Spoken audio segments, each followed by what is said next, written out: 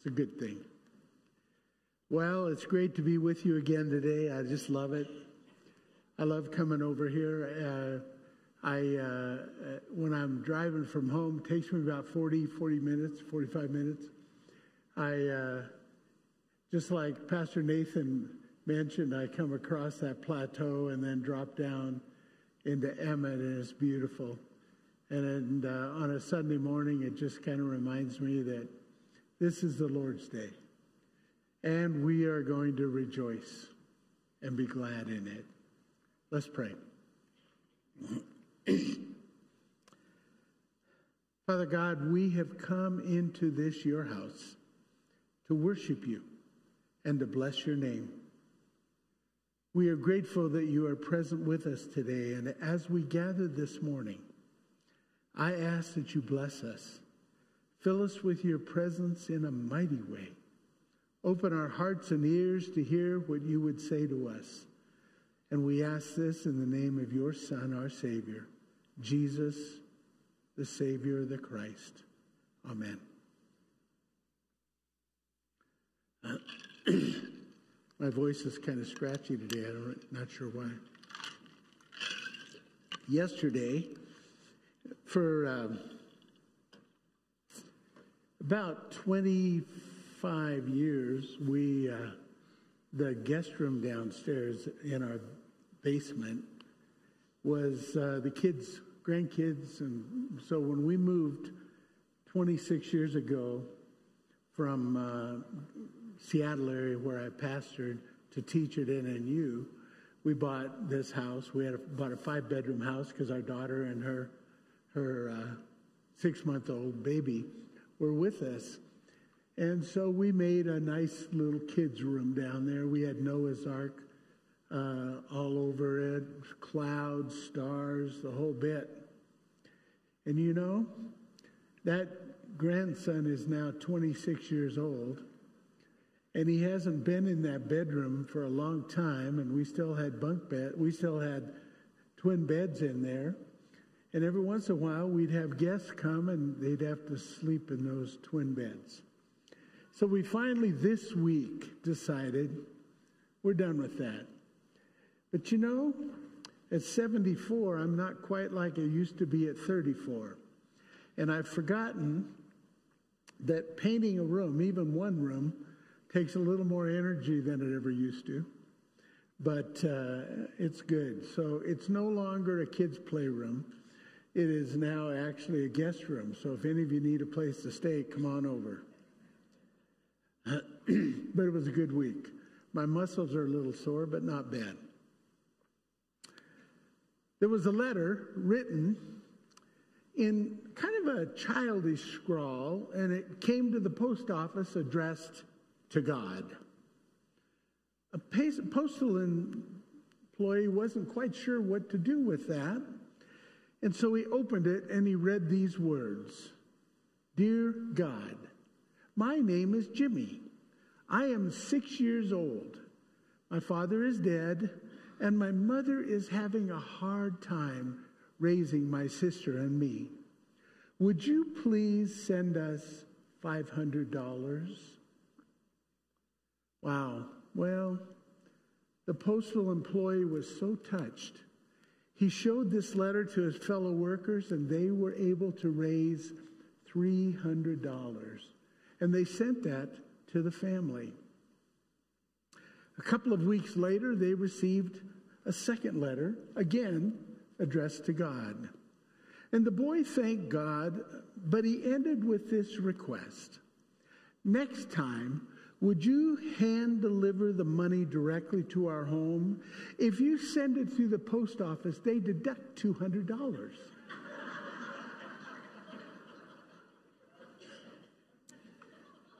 now, that's pretty good faith, don't you think? Today, I'm going to talk to you about another young man who had similar childlike faith. Now, for the last several weeks, we've been in a series. You may not have known it, but maybe you may connected the dots. The ser- series is Heroes and Heroines of the Bible. And we've shared stories of Zacchaeus and Esther Isaiah, the prodigal son, Ruth, and Stephen. Well, today's biblical story is about a young man with the same kind of childish faith Jimmy had. And the setting is found in 1 Samuel 17. Israel is at war with the Philistines. Now, this is not a new story. If you read the book of Judges, you remember that Samson really terrorized the Philistines, and they gave back as good, I suppose, as, as they got. But in today's story, the strong man, different from Samson, the strong man in that story, the strong man is on the side of the Philistines. His name was Goliath, a giant of a man, standing over nine feet tall and wearing a suit of armor weighing 240 pounds. Bible lines are, Bible lines are drawn. The Israelites are on one hill, the Philistines on a, another. There's a shadow valley between them. Goliath would march down every day and yell, Who will go fight me? Let us decide the fate of our two nations in one on one combat. he hurled that challenge to Israel for over 40 days. The entire army was demoralized. And they were totally immobilized. No one in Israel was willing to fight the giant. While all of this posturing by the Philistines was going on, Jesse, a local sheep farmer, sent his youngest son David to see how his older sons were doing on the battle lines. When David arrived at the Israelite camp, he heard the murmurings, and yet he sensed this fear. Everyone asked him this simple question Have you seen the giant? well, how could he miss? This giant coming down in the midst of the valley and yelling. I mean, who couldn't see and hear that giant? Now, the king, Saul, was offering extravagant gifts to the one who would succeed in beating the giant. A little aside here, that kind of reminds me of a story. There was a man in Texas, you know, everything's big in Texas, and he was throwing a huge party. He told all those present that if anyone would jump into the swimming pool, which he had filled with alligators, ferocious alligators, and would swim across, he would have the choice of three gifts $1 million, 1,000 acres of prime Texas ranch land, or the hand of his daughter in marriage. Shortly after he finished, he heard a splash and saw a man just furiously swimming across the pool. After the man had climbed out, the rancher ran over to him and said, Well done, son. Now, what do you want? One million dollars? No, sir. 1,000 acres of prime Texas ranch land? No, sir. Oh, well, then, the hand of my daughter in marriage? No, sir. I just want the name of the fellow who pushed me in the pool. Saul was offering extravagant gifts, huge gifts for anybody willing to fight the giant.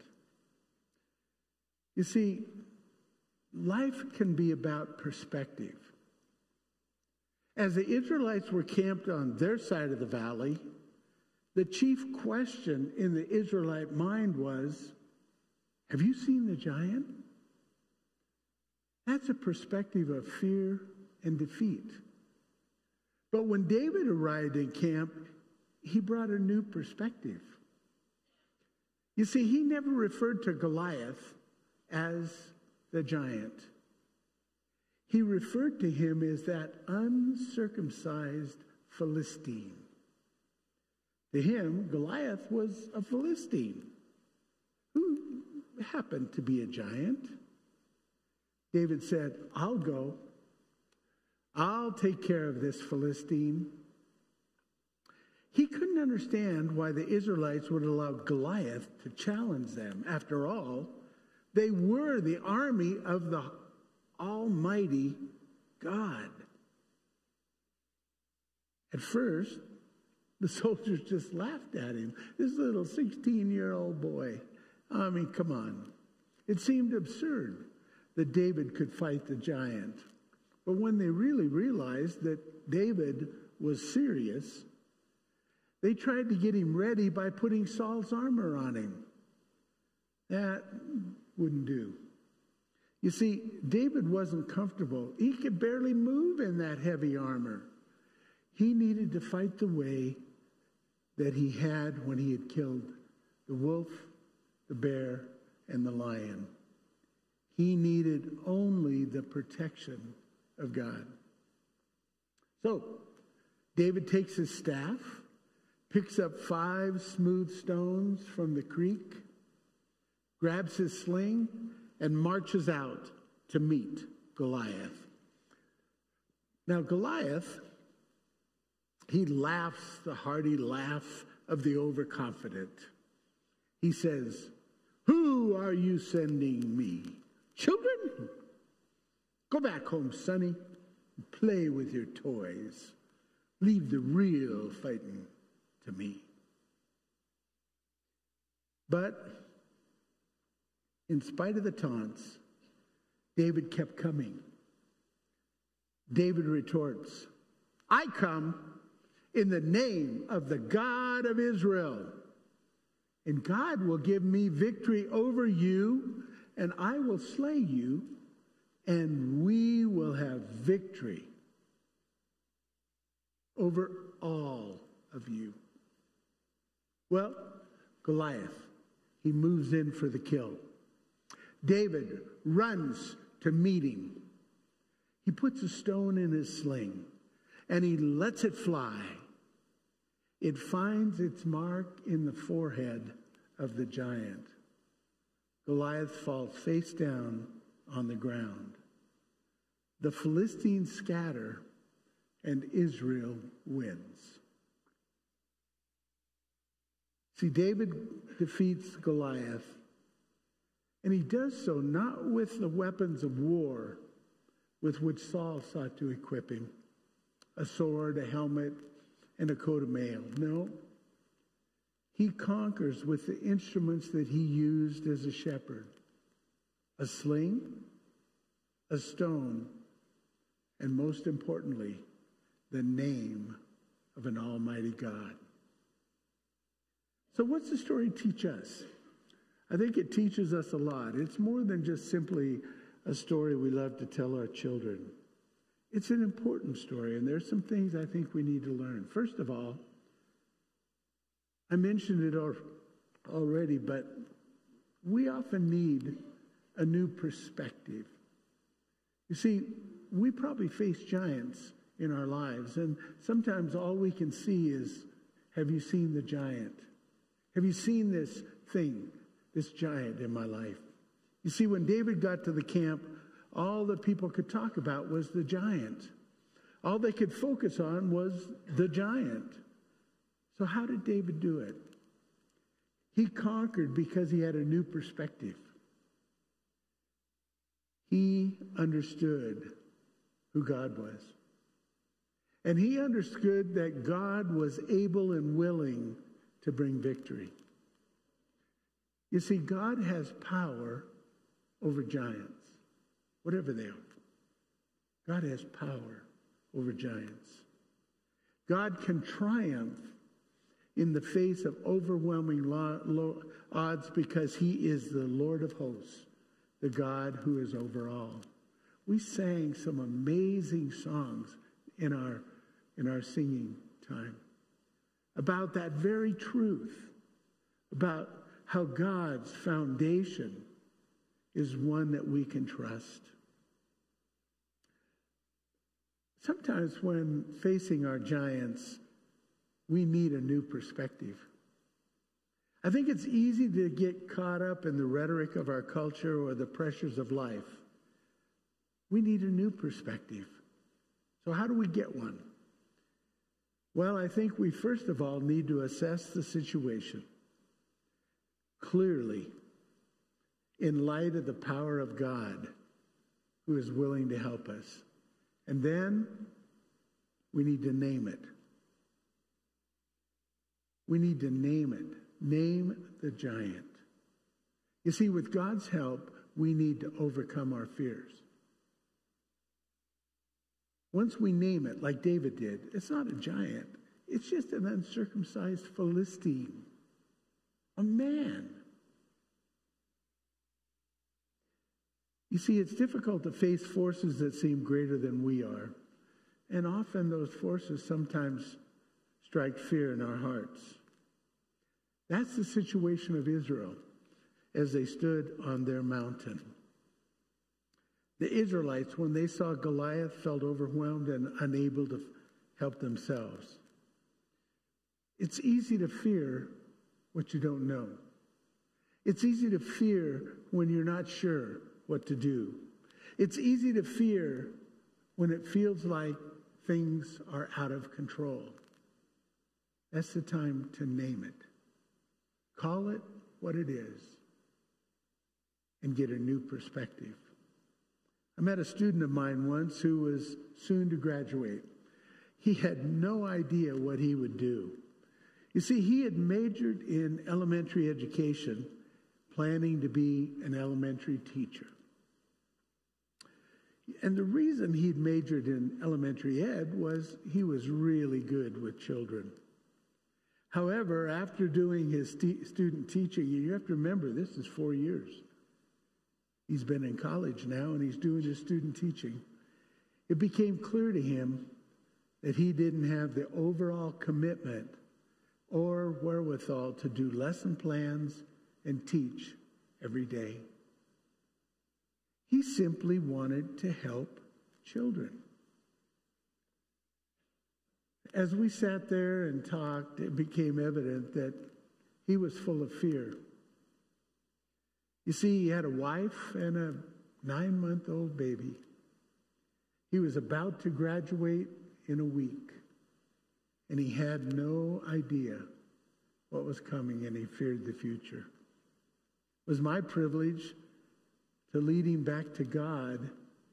No, he was a Christian. I wasn't leading him back to God for that. I was leading him back to God so he could really see who God is and was and could be in his life. That God could bring calm in the midst of that storm of fear. We discussed what he was passionate about and what he loved to do. And after talking, oh, maybe for three quarters of an hour, hour maybe, he discovered a new dream. It wasn't something I told him. I just kind of asked him, What do you think? What are you passionate about? Where's your love? And all of a sudden, it began to dawn on him. Now, he's going to have to maybe do one or two more years of college to prepare for the job that he really knew he needed to do. But you know what? That didn't scare him. The fear had gone because he was convinced that he was on the right path. He knew that God could take care of his fear, and he knew that he had a new direction that was filled with hope and expectation because he knew God had him. God was with him. David knew from where his strength came. He knew who was leading. He knew who could help him. In Psalm 27, he writes these words The Lord is my light and my salvation. Whom shall I fear? Of whom shall I be afraid?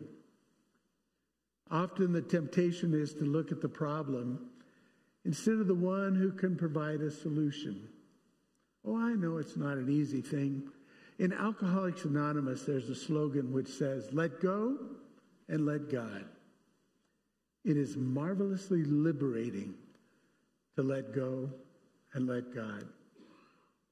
To trust God and decide to act in His will instead of worrying is a challenge, but so necessary if, in fact, we are to keep giants from defeating us. We must face our giant. Have you seen your giant? Well, I'm here to tell you, you need not fear. God can help you face that giant. I don't know what your future is.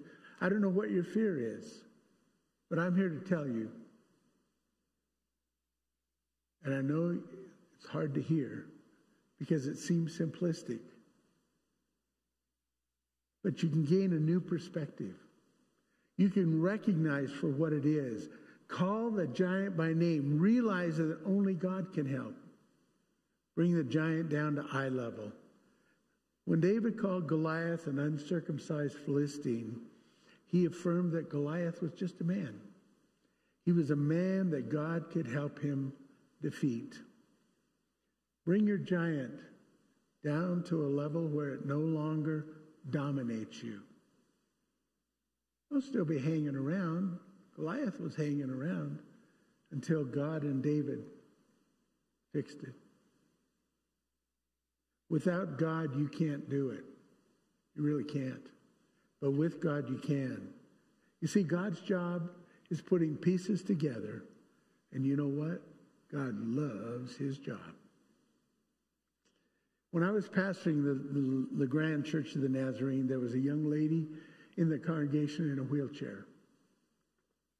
She was uh, 25, 26 years old, had been living with her parents for some time, and she had no plans for the future.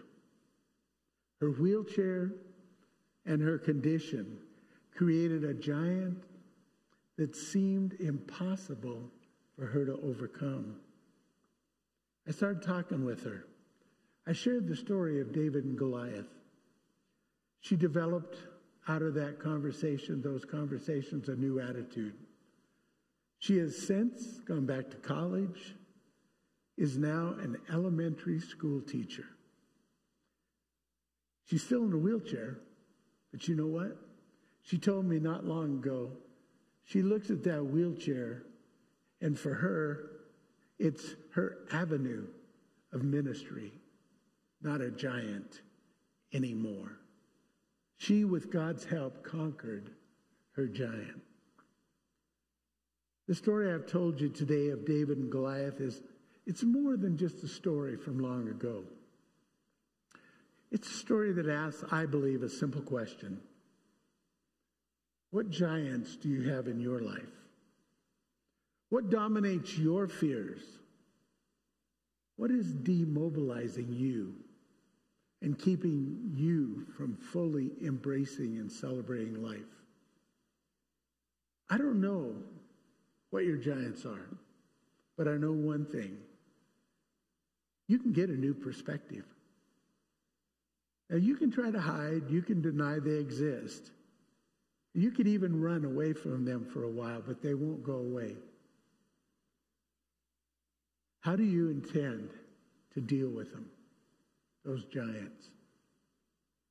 See, I don't know what giants you face. I know one thing. You must rely on the power of God to help you face and conquer them.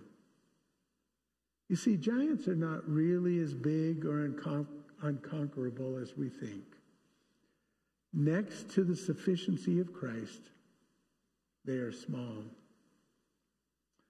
Name your giant for what it is and rest in the reality of God's strength to get you through. How about it? I think today is a good day to see that giant for what it is, to call it by name, to give that giant to God. I think it's a good day to begin to see victory with God's help. His promise is sure. He says these words in Isaiah Do not fear, for I have redeemed you. I've called you by name. You are mine. When you go through deep waters, I will be with you. When you go through rivers of difficulty, you will not drown. When you walk through the fire of oppression, you will not be burned up. The flames will not consume you. For I am the Lord your God, the Holy One of Israel, your Savior. I haven't come this morning to share this story with you uh, to offer any Pollyanna kind of solution or to see only through rose colored glasses. I've had my giants too that I've had to face. And there was a time when they seemed almost unbearable. But you know what? I discovered simply by naming them, God helped me have victory. You see, I know we face many things that can overpower, seems like, and even potentially overcome us. Issues, circumstances in life can seem overwhelming. But I declare that there is one who's able to walk with you through the journey and help you with your giants. I'm here to tell you, you can depend on God. Really. Again, that's not some Pollyanna thing. That's true. Some of you that have little white hair on your head like me, you could probably testify to that. How that you've had to face some giants in your life and God has brought you through. Don't be afraid to tell those stories because they can be an encouragement to those who need to face their giants. You can depend on God for strength, courage, and support, no matter what. And to use an old cliche, you can take that to the bank. We're going to sing an old song. I mean, uh, at least it was for me growing up. I sang it. We sang it often. It's a great old song, but talks about what I've been talking about. And it's how do we have victory in Jesus? You'll see the words on the screen.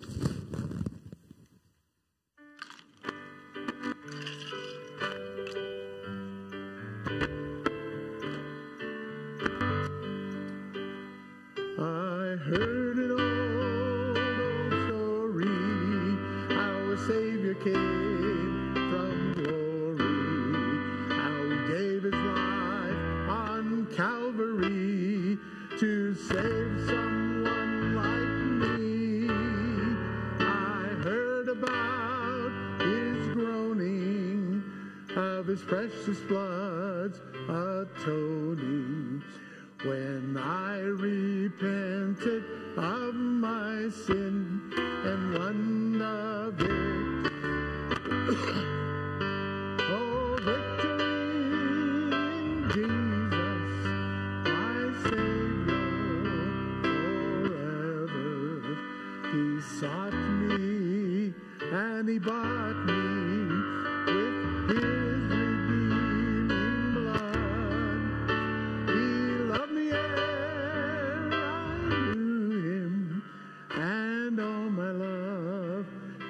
to him.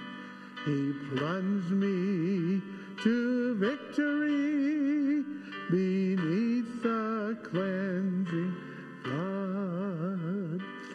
I heard about his healing, of his cleansing power revealing, how he made the lame to walk again, and he caused the blind to see. And then I cried, Dear Jesus, come and heal my broken spirit. And somehow Jesus came and brought to me the victory. This chorus is right. Oh, victory in Jesus, my Savior. He sought me and he bought me with his redeeming blood. He loved me.